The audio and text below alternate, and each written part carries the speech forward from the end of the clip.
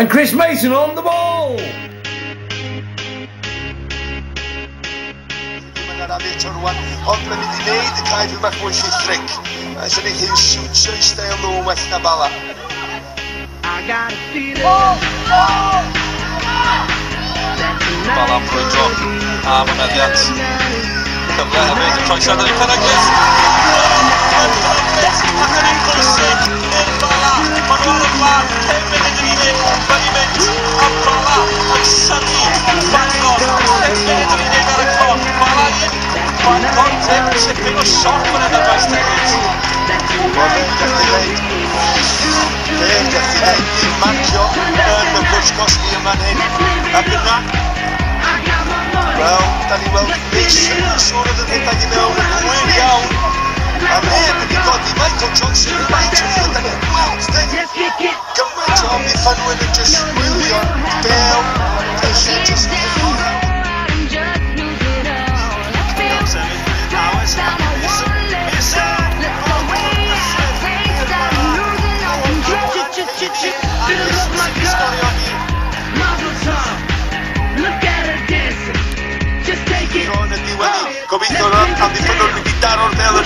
Marino yn syth i gwydwylo a Sibonis ar, ar ddeu. Holloway, Sidra, Robert Agebain, Henry Mason, a Jeff Mason i canol. Mason!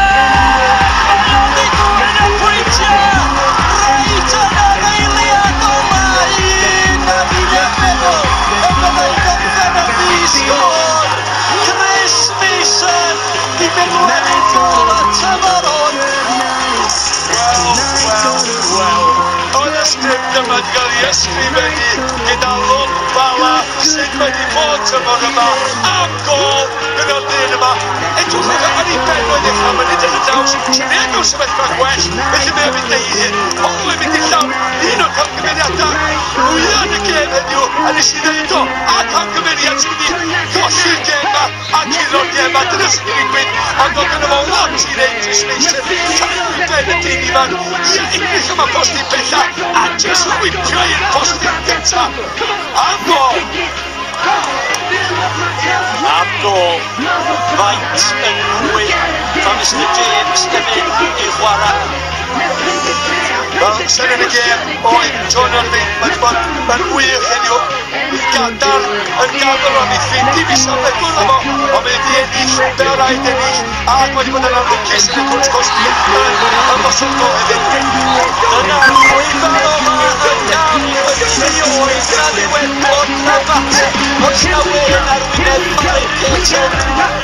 nos i dderbyn y gymeradwyaeth Chris Mason yn hwyr, hwyr, hwyr yn y gêm. Mae hynny'n golygu fod y bala yn codi ddau safle yn y gyngref genedlaethol Chris Datyn bellach sydd ar wylod y tabl. Bydd y Llanelli yn aros yn y pedwerydd safle tan y gema pnawn goi.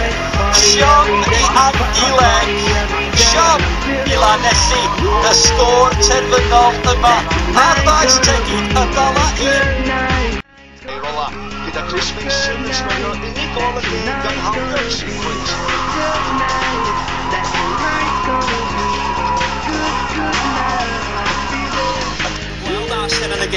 And Scott, you're Chris Mason. Yeah, Chris, um, I'm going to start with you.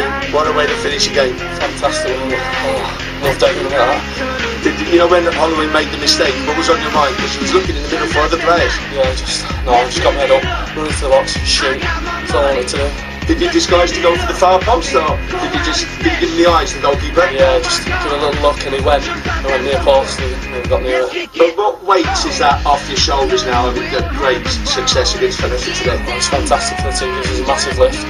Lads are confident, confident anyway, but we'll kick on now. John, Um, at the end of the game, all the players were just huddling around, jumping like you've won the league. Well, this is what it feels like because it's been a long time coming, so we've been working hard all season.